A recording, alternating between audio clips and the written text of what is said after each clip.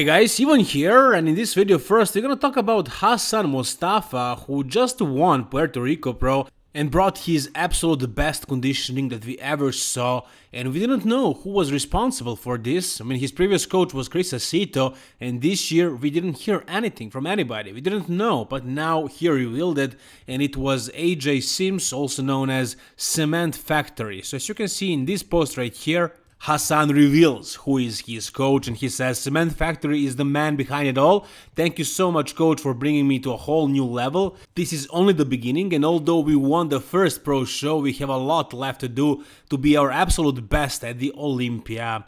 So now you know, it is AJ Sims, who is also a previous coach of Justin Rodriguez, who brought Justin in some of the best packages we ever saw him so far. He made so much progress in the past couple of years with AJ, but they messed it up for New York and for Indy, and uh, Justin wasn't happy about it, so he changed a coach after that show. Actually, from what I heard, he was being coached by AJ for, I believe, for Indy and for New York, but he didn't really listen to him. He didn't do what he was telling him.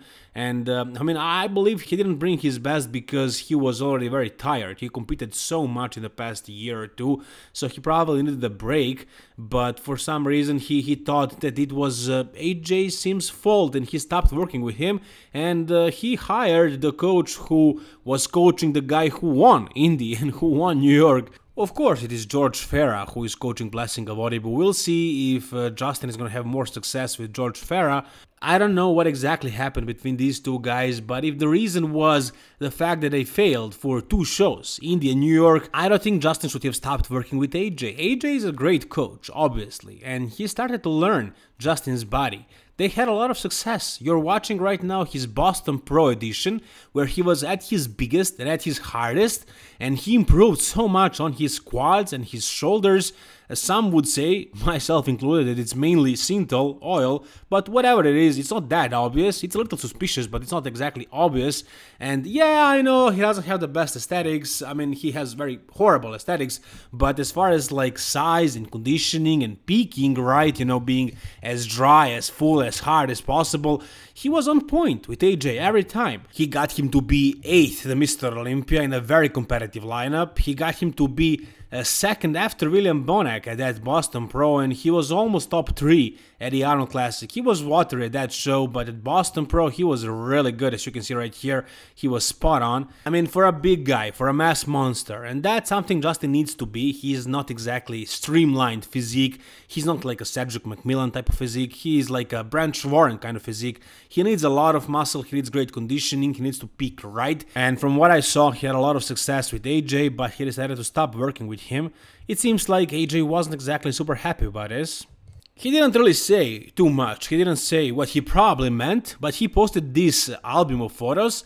Uh, it is photos of Justin, and uh, he says, back over the years working with Justin, had a great run when everything was aligned with communication and work. Uh, lots of great looks, and he had some fun traveling to the shows with him and assisting him. Wish him the best in his journey and with his new coach and his career in bodybuilding. So he didn't really say too much, but he also said a lot in the same time if you know a little bit of a backstory. Now back to Hassan. As you can see, he, he brought Hassan's best look ever. I mean, Hassan was previously working with Chris Aceto, who is arguably the best coach in the world. Many would put him in that first spot. He's definitely one of the top five coaches by name, at least. And uh, Chris Aceto couldn't do it. He couldn't crack Hassan. He couldn't figure out why Hassan can't be conditioned. And so Hassan changes a coach and he brings his absolute best ever. Why was he keeping this under wraps?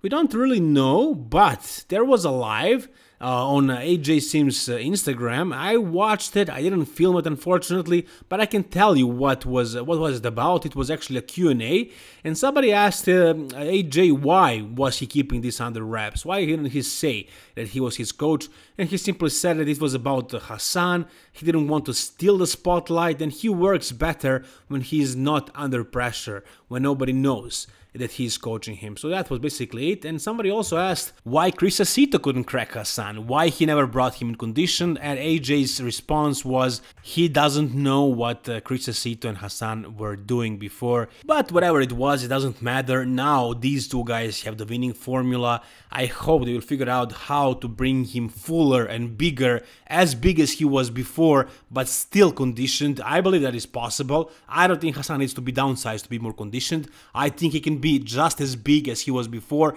and look even bigger on stage because under those bright lights, when you are the most conditioned and the fullest, and like if you pick the best, you're gonna look the best. Mean, bodybuilding is an illusion. Of course, you're not gonna be as heavy, but sometimes leaner means looking bigger on stage. So I think, I hope, and I believe these two guys will figure it out. And at the Mr. Olympia, Hassan is going to be bigger and let's say as conditioned, if not even more conditioned, and that's gonna be a serious package. And I'm looking forward to seeing that. At least now we know AJ Sims is coaching Hassan.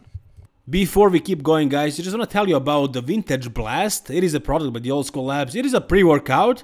It's not just an ordinary pre-workout. It is probably the most delicious pre-workout that you can find out there. And it also works so, so well. It gives me the best pumps, the best focus. I'm feeling really strong in the gym. It completely changed my off season this year. And I'm suggesting you guys to try it. If you want to support me and my channel, give it a try. Just use the link in the description of this video and use the code IVAN for a 12% discount. Let's go now, guys. Marcelo De Angelis, aka Horse MD, is out of the hospital. I don't know why is there a flaster on his belly button. I mean, he did say that he had food poisoning and he was in the hospital for a while, vomiting and you know stuff like that. He probably was dehydrated. Maybe he had some IV, but uh, I, I don't know what is the reason for that flaster on his belly button. Maybe he will explain. Anyways, this is him. This is what he looks like right now. And finally, he looks like an actual classic competitor. Is this a good thing? Well, no, it's not. I mean, before, he did not look like a classic physique competitor. He looked like a bodybuilder, and he is a bodybuilder. He, he turned pro in bodybuilding uh, actually last year only. It's not like he turned pro in bodybuilding 10 years ago and he lost all the muscle. No, he just turned pro in bodybuilding and he decided to do the classic physique because he can make the weight. And it was insane. We were looking at his photos and we were thinking, how, how is this possible? I mean, he was close to the weight cap. He needed to lose like 10 pounds, something like that. And he was almost there. But now, as he said, he lost a lot of weight. So probably right now he's under the weight cap and he still looks big. He still looks great. I still think he should compete as soon as possible. And look, I mean, for like a week out of gym and not eating, you can't really lose that much muscle. I mean, yes, you're gonna deflate a little. You're gonna lose some glycogen. You're gonna lose some water from that muscle. You're gonna lose uh, the fullness. You're gonna look smaller. You're gonna feel weaker. You're gonna be weaker. But you don't really lose muscle that fast. No. So the thing he needs to do right now is to just get back to his old routine. And in a week or two, he'll be back where he was at. And if he, if he can't do the show that he was originally planning, there is a lot of other shows, man. He can choose whichever one he wants in the next month or maybe a little bit more. He still has time to prep to look good.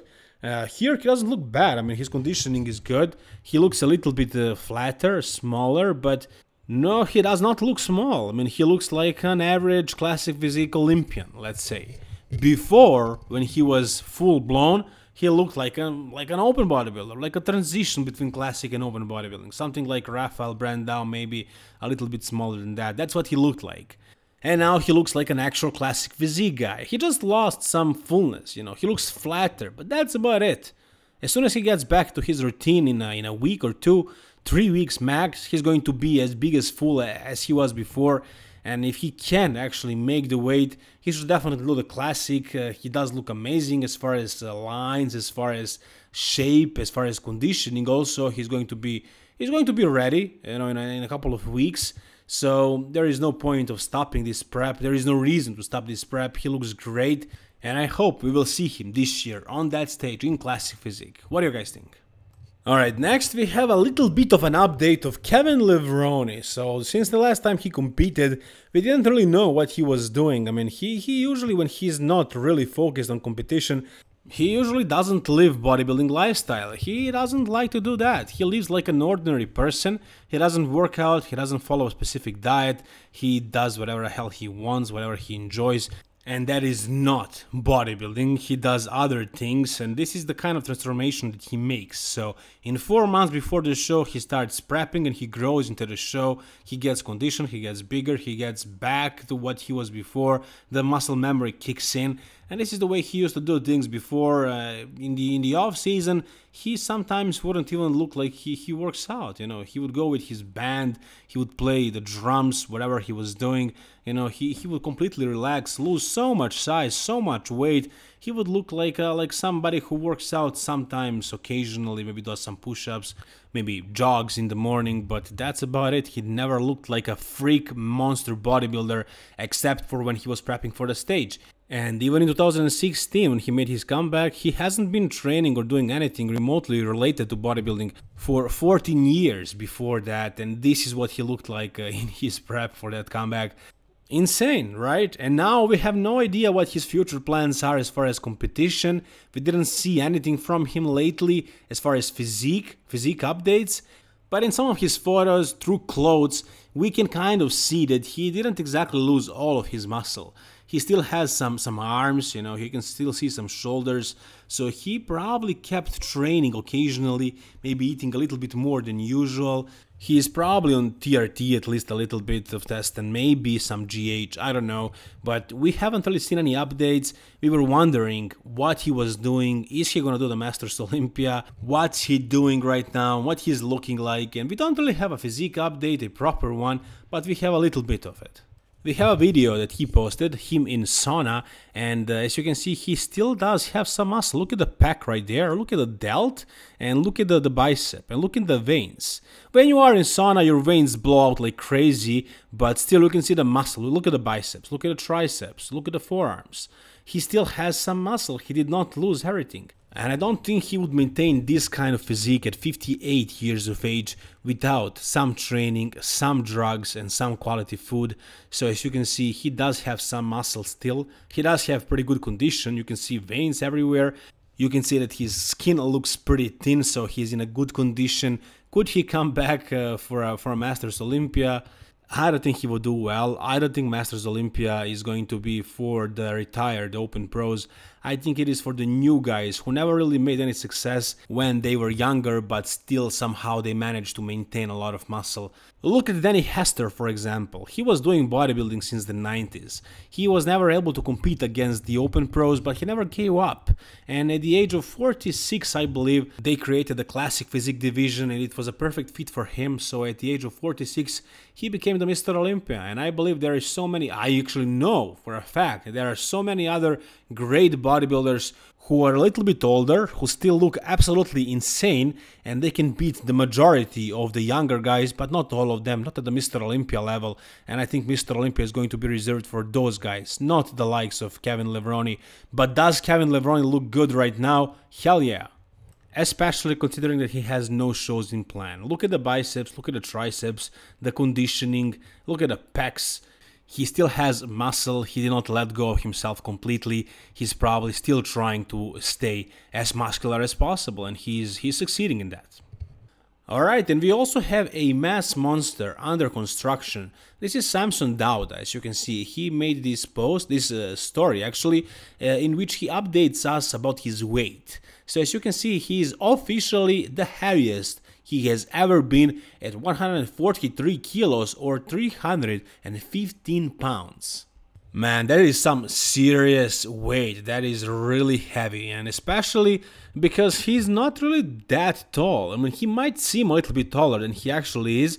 He does have some really nice proportions, uh, nice, nice aesthetics, you know, nice shape. The length of his limbs and everything just flows so well. He reminds many people, myself included, of Flex Wheeler a little bit. Uh, and uh, he's five foot eleven, so he's not short, but he's not tall by any means. He's not six foot. He's not six foot one. He is 5'11 and obviously 315 pounds, which is heavy, which is really big. Uh, he is still coached by Milos Sarcev, so hopefully they will bring his mass up to the, to the highest level possible and uh, hopefully he will be conditioned. As well as he needs to be, and hopefully he will improve some of his weaknesses like his back, and that's probably it. Back, and I would say maybe a little bit of uh, shoulders, maybe arms, but like his legs are insane. He also needs to get his um, glutes a little bit more conditioned, and if he fixes all these things, who can stop him? Really, like this is this is we're talking about the top six Mr. Olympic competitor. He was fourth at the Arnold Classic. This was sort of his breakthrough year, and um, he's not stopping anytime soon. Uh, I don't know if he's going to do the Mr. Olympia this year. I don't know if he's qualified or not. If you guys know, maybe he qualified by winning some of the post Olympia shows last year. If you guys know, let me know in the comment section down below. But if he actually competes this year, I think he's going to make some serious damage in that lineup because he's making some serious gains in this offseason. Anyways, guys, that's gonna do it for this video. If you enjoyed it, give it a thumbs up. And for more videos like this, subscribe to my channel, guys. Thank you so much for watching. All the best and bye-bye.